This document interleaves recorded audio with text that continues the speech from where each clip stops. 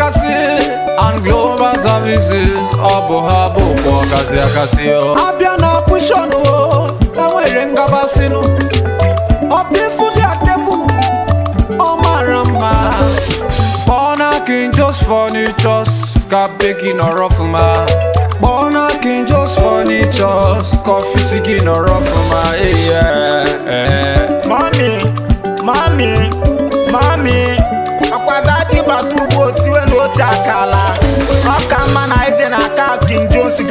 ezigbo oche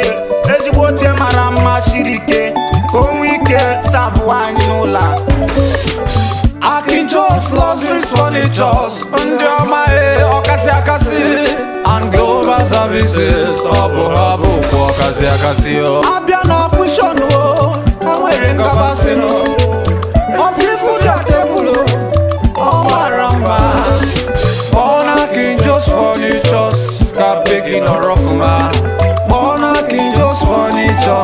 kọfisi gị nọrọ ọfụma ihe onye onye onye ka na-ekwu maka ya ọ bụ oke nwanyị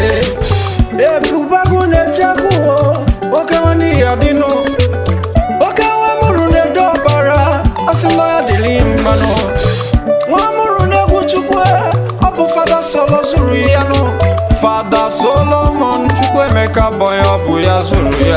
ọmị ọkakwa mma na ịgbara gawa ugbu a na nọmba five Zik Avenue Enugu steeti ebe a ka ị ga-enweta Akinjo Luxury Furnitures and Global Services Limited akara ekwentị anyị bụ 08142562985 maọbụ ịkpọ 09033260303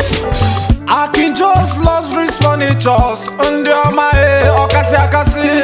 and Global Services ọ bụ ha bụ okwu ọkasị akasị o abịa na ọkwishọn o enwere ifu dị tebụl ọ mara mma